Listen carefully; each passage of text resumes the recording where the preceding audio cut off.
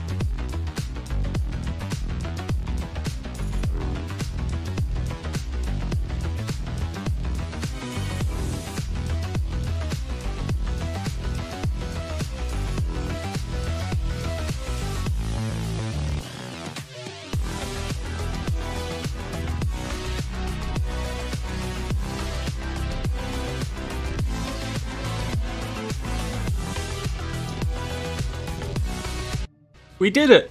Thank you guys so much for watching. If you enjoyed the video, give it a thumbs up and I'll see you next time.